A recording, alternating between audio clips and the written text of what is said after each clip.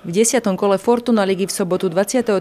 septembra hostila Senica Trnavských Spartakovcov. Prvú streleckú možnosť si Trnava vypracovala už v 10. minúte. Brigantovú strelu však plach kryl. 5 minút na to sa presadil Ego a Trnava viedla 0-1. Seničanom chýbal dôraz a k zakončeniu sa vôbec nedostávali. Strela Medvedeva v 25.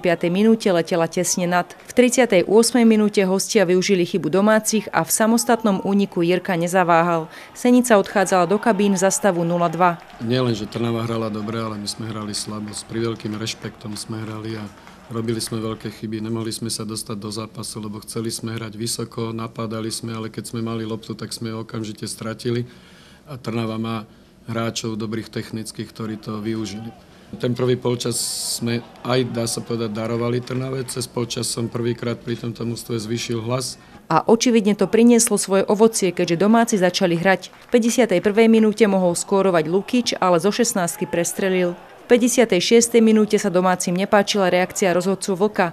Po faule na krča jeho píšťalka zostala nemá. Seničania súpere ďalej tlačili. Brána hostí sa konečne zavlnila v 70. minúte, keď Medvedev znížil na 1-2. Domácich gol povzbudil a v 73.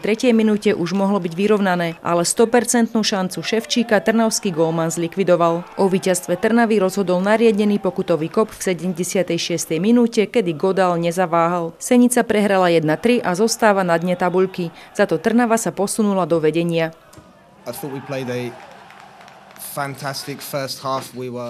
Opäť sme vyhrali a sme veľmi šťastní. Bol to ťažký zápas, ako všetky zápasy v tejto lige.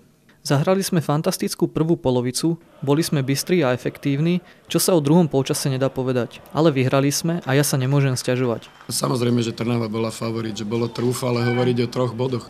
Ale keby sme nerobili možno tie chyby a boli by sme stále v hre, tak by to bolo iné. Takto to bolo ťažké. V určitých momentoch nám chýbala samozrejme kvalita, ale budem tomu z toho hnať dovtedy, pokým z nich niečo nevydolujem, lebo majú na to tak, ako ukázali druhý polčas.